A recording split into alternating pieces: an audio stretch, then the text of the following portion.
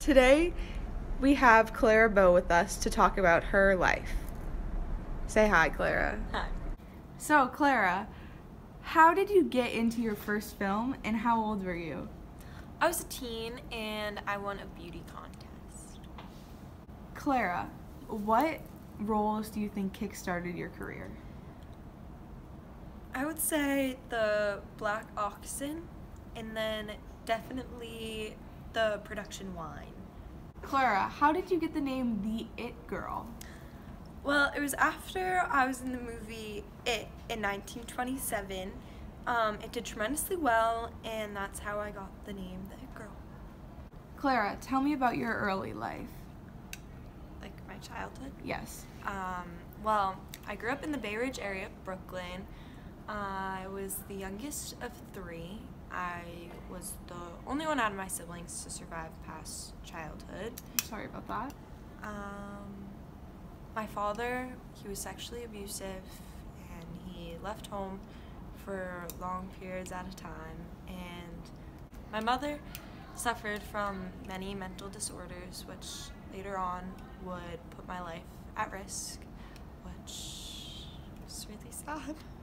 Clara, how did you deal with all this from your rough childhood? Like, I know you had a lot on your plate. How did you deal with it?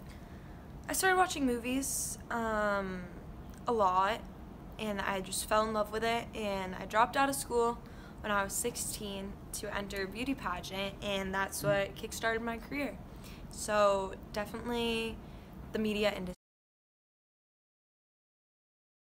Obviously, after the movie It premiered, um, many women looked up to you in the late 20s, and they thought of you as the best role model. They loved your style, everything about you. How do you feel about that?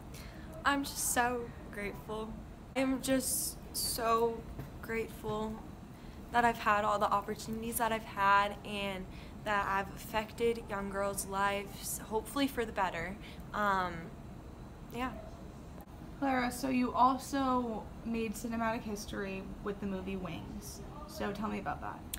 So, Wings won Best Picture at the Oscars in 1927.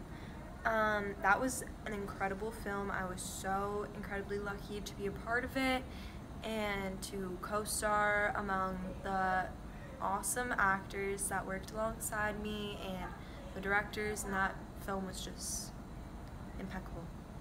Okay, Clara, so later on in your life, I know times got really rough for you with all this gossip and the men in your life, your romantic life, the work schedule being way too overloaded. So, how did you, what happened with that? Um, well, I ended up entering a mental institution to help me cope with everything that was going on in my life and everything that happened in my life previously. Um, and that helped a lot, and now I'm out. So, Clara, tell me about your family, your husband, your kids. I fell in love with my husband Rex Bell in 1931. Um, we had two kids. I still have struggled with mental health, but um, they helped me through it. I officially retired from acting in 1933. Um, which took a lot of stress off, but I obviously miss it.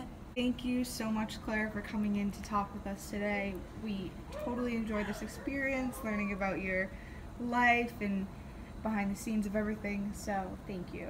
No, thank you.